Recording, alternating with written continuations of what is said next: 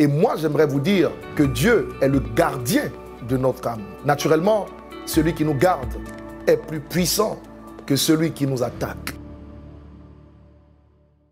Shalom, chers téléspectateurs euh, de TBN, que le Seigneur vous bénisse au nom souverain de Jésus-Christ. Je suis Bishop Ouattara Mohamed Idriss, président fondateur de l'Église Ambassade des Miracles.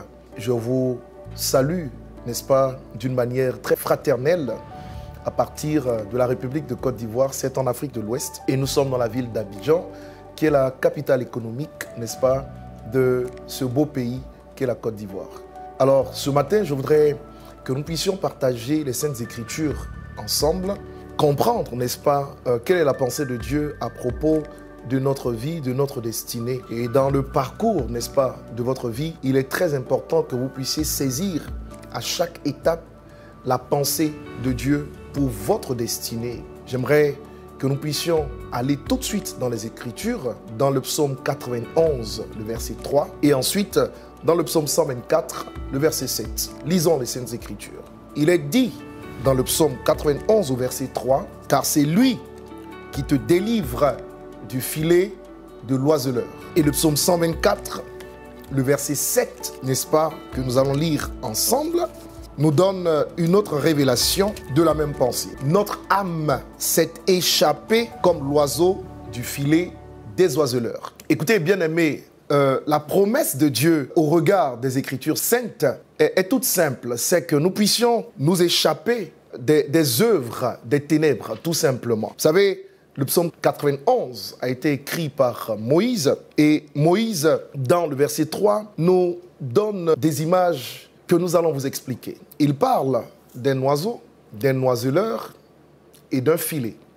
L'oiseau a l'identité, n'est-ce pas, dans ce contexte du Fils de Dieu, de celui que vous êtes, tout simplement, en tant que fils du royaume. L'oiseleur, c'est l'image du diable, et le filet, l'instrument que l'ennemi utilise pour capturer et détruire la vie, n'est-ce pas, des enfants de Dieu. La promesse de Dieu est toute simple. Elle dit que l'oiseau s'échappera du filet des oiseleurs. Cela veut dire que Dieu veille sur ses enfants pour que nous ne puissions pas tomber dans les pièges de l'ennemi. Et j'aimerais vous dire ce matin, en guise d'exhortation, que notre Dieu nous fait la promesse de nous échapper des œuvres du diable au nom de Jésus-Christ. Quatre points que nous développons d'emblée. Le premier est le suivant. L'oiseau ne sait pas où est-ce que le chasseur pose le piège. C'est pourquoi nous devons avoir du discernement dans notre marche avec Dieu, lequel discernement vient par la prière et par la vigilance. Au nom de Jésus, vous ne serez pas trompés. Dites-moi Amen de là où vous êtes et au nom de Jésus, les pièges de l'ennemi ne vous prendront pas. Deuxième vérité, le piège est toujours caché. L'œuvre du diable est de cacher tout ce qu'il fait. Pourquoi? Parce qu'il veut tout simplement surprendre les enfants de Dieu. Son autorité se manifeste dans les ténèbres, dans la cachette, dans le noir. C'est pourquoi quand la lumière vient justement sur ses œuvres, il est paralysé et il est anéanti. Et donc, en deuxième point, sachez que l'oiseleur cache toujours le piège. Et j'aimerais vous dire à ce propos que tout ce qui semble beau ou bon à vos yeux ne l'est pas toujours. Le diable est malin et il a la capacité de cacher, n'est-ce pas, ce qu'il fait. Faites très attention pour ne pas tomber dans ces pièges. Éprouvez les esprits pour savoir s'ils sont de Dieu. La troisième vérité est la suivante. Le piège n'est jamais mis au même endroit. Ça veut dire que le diable travaille avec beaucoup d'ingéniosité dans le but d'essayer de capturer euh, les enfants de Dieu. Cela peut être euh, dans votre vie euh, spirituelle. Il peut travailler à mettre des pièges dans votre vie maritale. Il peut travailler à mettre des pièges dans votre vie professionnelle. Il faut savoir que son œuvre est variée.